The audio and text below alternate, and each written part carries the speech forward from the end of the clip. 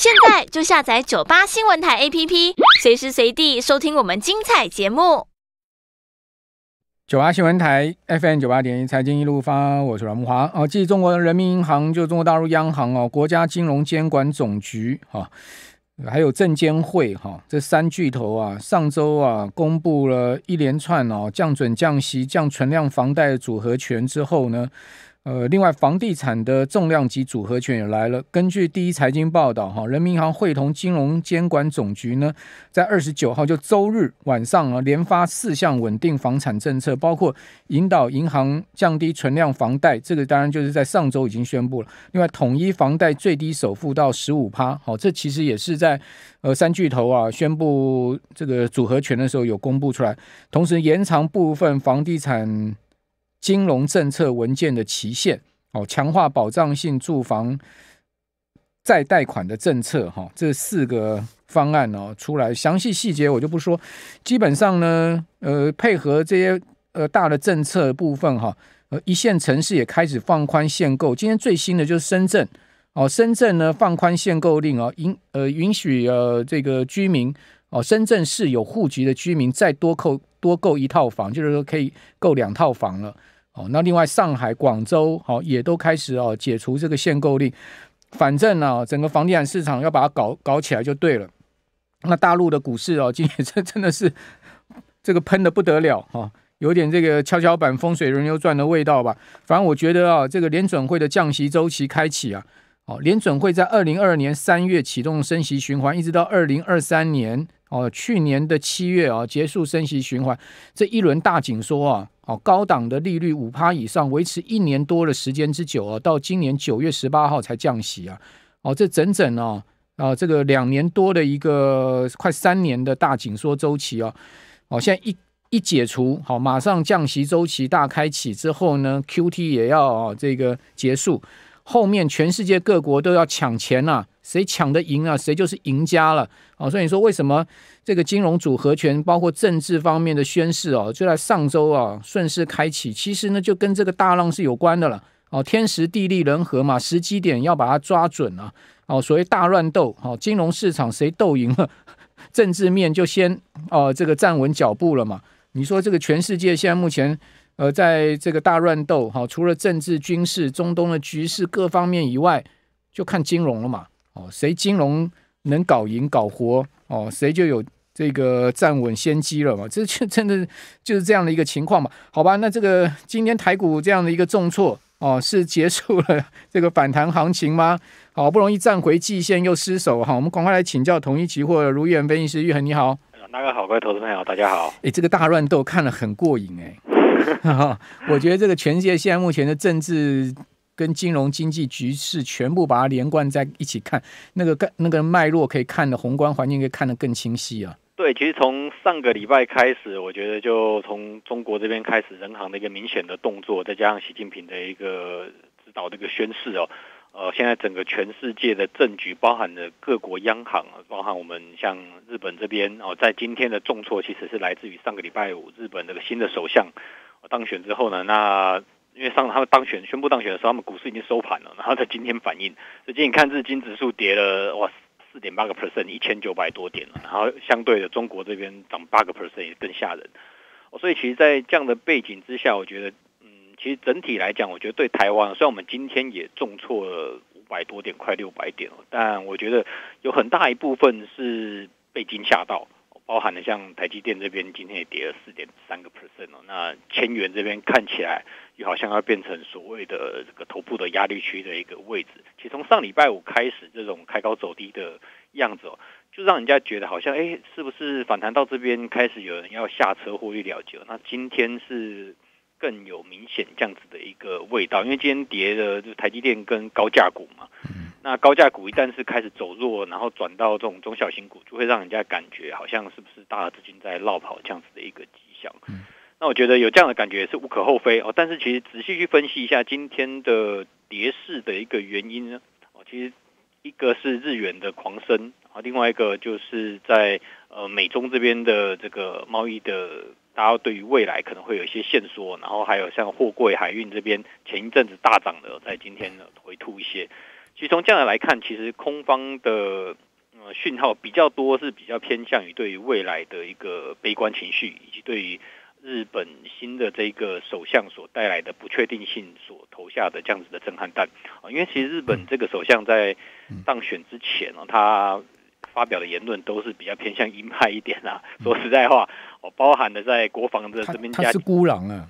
对对对，国民党里面的孤狼啊。要加强国防嘛，然后呃，对台的立场，然后以及对于货币政策、财政政策的一些立场，可能都是呃，大家觉得可能日后会有一些嗯，比较偏向鹰派哦，或是紧缩，或是在日对这个货币正常化这个进程哦，看起来是呃板上钉钉了。但其实大家仔细看啊，今天的日元其实并没有再进一步的续贬非常呃续升非常多，啊贬回去了。对对对，稍微贬回去了，并没有。去跌破这个九月十六号的这个升值的高点了。我觉得我们如果看，因为它往下是升值嘛，一一三九点五七，并没有进一步的去升破。所以其实从呃日本本身货币这个部分来看呢，我觉得在经过这一两天的恐慌的一个反应之后，其实已经把大部分的趋势都已经消化掉了。那反而是在中国这边所带来的这个组合拳所带来的利多，我觉得反而有可能会在他们十一的长假过后，会先有一个第一步的验证。他们说要去做呃基准利率的一个调降嘛，然后还有像他们的十一长假的这个消费的能不能够因为他们的政策利多有信心上的加持，但说实际上这些钱达到。消费体系、金融体系并没有这么快啊，但是就是一个所谓呃信心的一个回稳。如果他们在十一长假这边的消费的状况能够呃有一些信心回稳的话，那我觉得我们可以先把它这个组合拳啊当成是呃第一步的政策利多出台的这样的刺激。日后呢，应该还是会有其他的一个政策出台，因为他在打这个组合拳的天时地利人和，刚刚才阮大哥所说，其实我觉得掌握的节奏算是。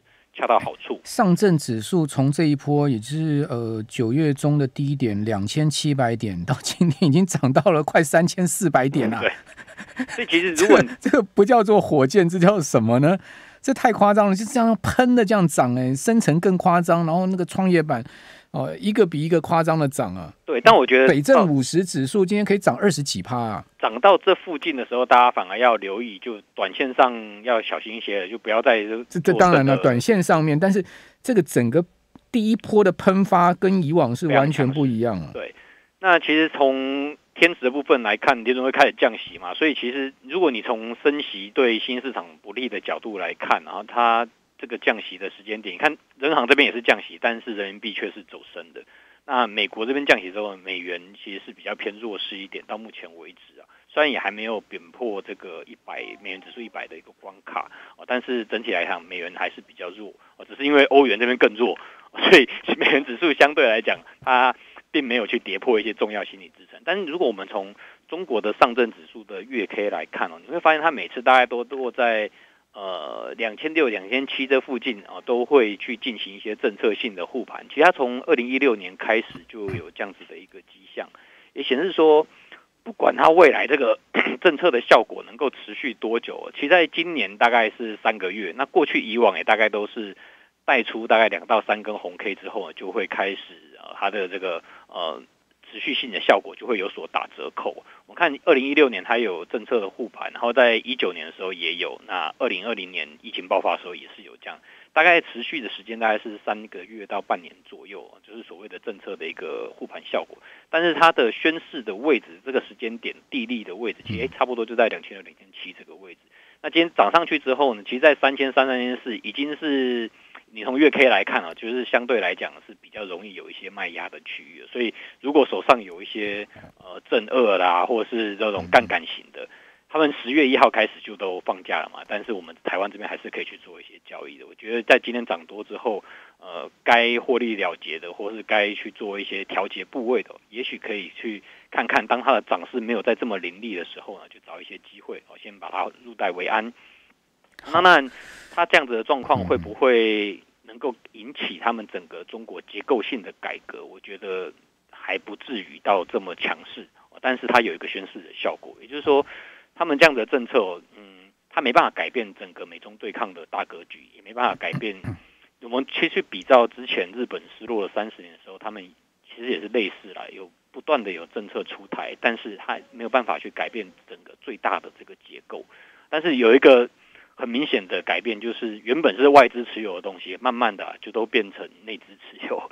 像日本政府，他们是经过了这个失落三十年之后，你发现东证指数最大的股东是他们日本央行，买了一大堆的这个企业的这个 ETF 去做一些支持。所以我想，在如果中国政府在这样子的态度上面可以参考日本的这个经验的话，那么在接下来很多外资的影响力，也许会慢慢的被替换成他们呃政府派主导的影响力。OK，好，那。另外一方面，日本股市向下哈，收盘是跌了快两千点，哦，跌了一千九百多点。不过比那个期货盘是跌了少少一些了啦。哦，虽然也跌的是蛮惨，那期货盘是跌六趴多哈。那日股收盘呢，哦，相对没有跌这么多，哦，没有像期货盘跌这么多。那当然，这个石破茂的当选哈，呃，是一个意外的情况，因为一般市场都压住高市早苗，哦，那高市早苗哈，基本上是非常反中的。那你说石破茂，呃，轻中吗？也不尽然，但是他没那么亲美。哦，石破茂这个人没那么亲美，而且他在自民党里面先前呢选过四次党魁都落选，因为他是孤狼，他是非常反对安倍宽松政策的。哦，所以这势必就是将来走向比较紧缩的政策是肯定的了。那日元长线上面看起来是要升的，不管谁当首相，我个人觉得日元长线上面看起来是要升的哈，因为毕竟呃。美国在降息，我们这边休息一下，等下回到节目现场。九八新闻台 FM 九八点一财经一路发，我是阮木华。哦，这个全世界要大抢钱呢，那你说呢？美国能抢输吗？好，所以美股呢，呃，再怎么样哦，也不容许它大跌嘛。哦，基本上我自己这样认为，就是美国再怎么样也不会容许美股美股在这个时候大跌哦，或者说美债出现了大逃杀的一个状况哦。毕竟啊，这个就是一个金融面的。全球的大争夺，好，那美国股市这礼拜最重要看非农业就业数据，好，我们继续来请教卢玉恒，呃，非农现在目前所显示出来可能的情况会是如何呢？因为美国就业市场在走弱，呃，这个非农已经降到二十万以下了，好，那这这个这个礼拜公布出来的数据还会再继续降吗？嗯其实他们非农在今年以来都是比较弱势一点，而且它就算公布了之后啊，日后还是会再去做一个修正。那今年的修正都是比较偏向减少了，这也是为什么费德在这一次降息去降两码的一个原因。那费德他们其实在这一次的降息，其实也明确的提出来了，他们并不希望看到这个。就业的状况进一步的恶化，所以他们才去下了降息两码这样子的一个猛药。那对于这个礼拜的非农数据，我觉得，嗯，它的当然是所谓降息之后的第一个非农，会是一个短线上蛮重要或者影响力蛮大的一个指标指标。但是其实我们如果放中长线来看，就是除了非农数据本身所提供的，像是失业率以及就业人数这样子的一个资讯以外，但其实他们的失业率在近期虽然是一直往上走高，但其实有一部分是因为移民所带来的一个效果啊，所以并不是他们的市场真的需求变得很弱。我觉得在这个部分，大家后续可以去观察，就是裁员率的企业裁员率的状况。哦，那如果企业裁员率没有进一步的提升，也就是说，呃，需求端这边并没有太多减少，反而是供给端这边增加所造成的失业率往上走的话，我觉得呃，倒不用这么悲观。所以其实这这一次美国的几个重量咖的官员，包含像耶伦，包含这个鲍尔，他们都是定调在所谓的软着陆，而其实并没有像市场上所觉得。这么的恐慌，再加上说美联储这一次是比较大的力道来去开启这个所谓的降息循环。那这一次非农礼拜五嘛，那我们台湾这边其实马上就下个礼拜又是这个双十的这个假日哦，然后再下个礼拜就期货就结算，所以十月对台湾的股市来讲，呃，十月的这个合约其实蛮短的。那但是现在。我们如果从十月合约刚开始是九月十八号结算嘛，九月十九号刚开始起算的话，它的起涨点的位置其实大概落在两万一千六百多到八百多这个位置。那以往哦，如果是这种多头的合约，然后没有办法撑到最后的话，那通常在这个多头合约的起起涨的这个位置，有可能会有一些防守的机会。像我们在四月的时候那一次就是这样，就是它。跌到了这个期货合约的起涨位置之后呢，就出现比较强烈的反弹。那这个位置大概大概，如果我们用均线来看的话，其实也大概就是落在月季线这附近的位置。你刚刚说是多少？两两大概两万两千二到两万，那今天已经接近六百多。就对对，其实今天收盘两万两千三百二十六点，就差 一百点而已啊。今天这种呃五六百点的跌幅，可能一下一个可能一个交易日就到了。所以你的意思是说？多方会去防守这个位置，我觉得蛮有机会的。就是如果这么恐慌的气气氛一直延续的话，到那边的话，也是有有可能会有一些买盘愿意在那个地方去做一些进驻，可以去做观察。因为这边如果你再跌破的话，那么原本十月合约是多头合约嘛，那就变成空头合约了。那你上面或者说变成空头或者盘整合约，那这样子的话，等于是说在国庆日前后，整个行情都会是比较弱势的一个一个。那这礼拜又有台风来干扰。对，那台风的干扰的话，我觉得如果是台风来的时候，然后刚好欧美股市、日本股市都重挫，然后我们台湾刚好是放台风假的话，哎，反而是一个比较好的样态。这个样态的话，我们在之在前两年有碰过，就是我们在放假的台风假的时候呢，然后。欧美股市都重挫，但是当我们开盘的时候呢，这个跌幅已经收敛了。欧欧美股市有什么条件重挫？尤其是美股，美股陆港股大涨，我怎么可以大跌呢？我一定 要跟你拼赢啊！我跟美股如果会跌，应该是回打。你看，像今天台股一大跌，大家就会想说：你看吧，看陆港股大涨，台湾的钱都被吸走了吧？所以这肯定不能跌的。我跟你讲，美股绝对在这个地方这个板子上面绝对不能输的。这个关键点上再怎么样要把它撑起来。那如果美 美股能够撑住的话，我觉得台股这个就是金融大乱斗啊！我怎么可能在这个地方示软呢？你陆港股涨成这个样子，我还大跌，那不如果告诉你我这个这个金融大乱斗我就输了吗？是不是这样子呢？是有这样子的说法，但是其实我觉得陆港股也萎靡很久了，美股也相对来讲也强很久了。所以偶尔风水轮流转一点，我觉得倒也还好，但是不能输太多啊！对对对，不能说这个地方完全大逆转，那哇，那这这个形势一大逆转，尤其是金融，呃，它它它表征的就是后面整个经济的力量嘛。对，但其实我们后面经济，如果你如果不能搞到软着陆，那真的惨了。对，但是如果如果从形态上面来讲的话，美股现在还是维持一个相对强势，没有错。那当然，陆港股是落后疯狂的追赶所以看起来短线上你会觉得，哎，陆港股这边的气势非常的强劲。但是因为他们马上就放假了嘛，所以他们在放假的这段期间，哎，美国股市有没有机会回神？我觉得就变得蛮重要的。那我们刚好也是在趁趁放假赶快拉一把车，反正中国那边不能动嘛，对不对？趁放假我赶快拉一把。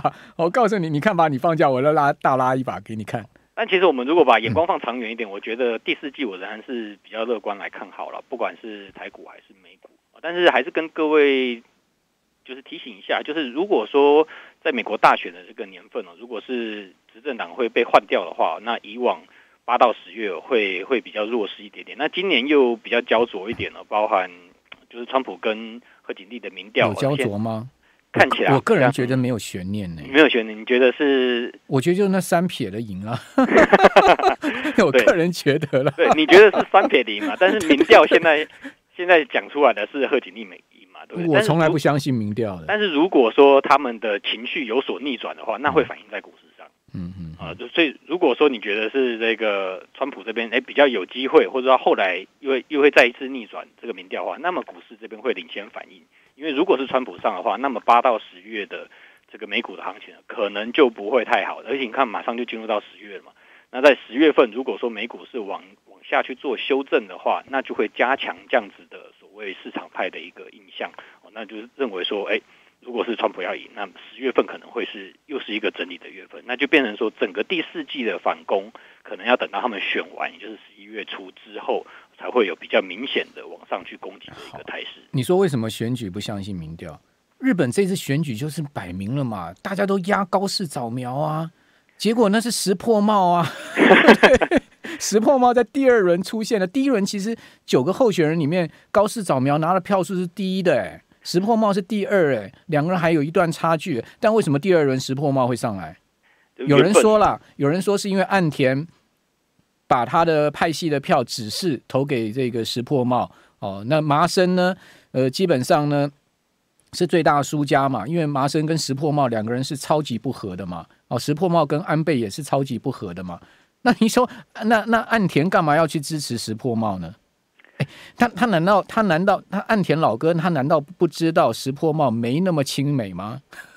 我觉得这中间有太多的 story 了！这种两轮的投票都会有很多的在第二轮翻盘的这种故事出来，而且背后可能有很多我们一般台面上可能看不到的，不管是交易也好，或是暗盘也好，或是互相的协商，我都有可能在这个中间去发生。其实像石破茂上台之后，他是不是？第一个就讲说他要维持这个宽松政策，跟他以前讲完全不一样。当然他要安抚一下，因为日经跌了两千多点啊，六趴哎，安抚市场啊。对啊，让他安抚一下啊。但后面上台了之后，就是我当家啦，我说了算呢。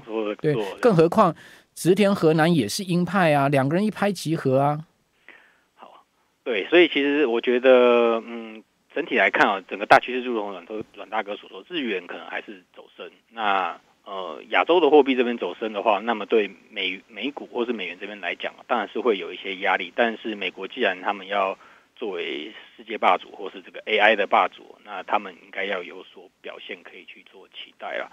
那我觉得整体来看，整个股市并没有想象中那么悲观。那即便往下去做修正，或者说，好，真的是要等到美国大选选完之后才要表态，那我觉得其实也没有关系。反正现在投资朋友。的投资周期都其实并没有这么短。那如果说从现在到整理到十月中或者是十月中后，那到十一月才表态的话，我觉得这段时间反而是可以布局的一个时间。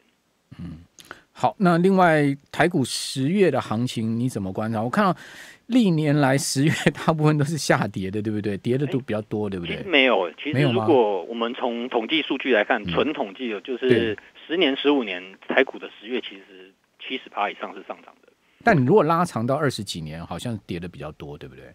嗯，其实也没有贵买，但是这这几年确实是十月没有涨，就是去去年没有涨，因为去年是整理到十月中后才开始反弹。但是其实我们如果从一九八几年一直统计到统计到这个近期，整体来讲，整个十月大概将将近六成是有涨的。那近十年、近十五年大概是六成五到七成。所以其实整体。因为我们台股整体平均的这个上涨率大概六成五左右，所以如果你只要高过六成五，那就是比较容易上涨的月份。所以十月其实大家常说光辉十月，但偶尔也是会变成这个猎杀红色十月，刚好就是二二年、二三年都是跌的。嗯，但其实如果从二一年开始往前的话，其实十月上涨的概率是仅次于十二月。嗯嗯，全年这样看起来的话，其实十二月最容易涨，大家都知道嘛。那十月其实也是蛮容易涨的一个月份的。好，反正第四季的行情相对都会比较好了。对，至少比第三季好很多了。第三季九月是最容易跌的。今天已经是第三季最后一个交易日，第三季赶快走吧，我们来进入第四季吧。好，不管是怎么样，十月总是比较第三季好。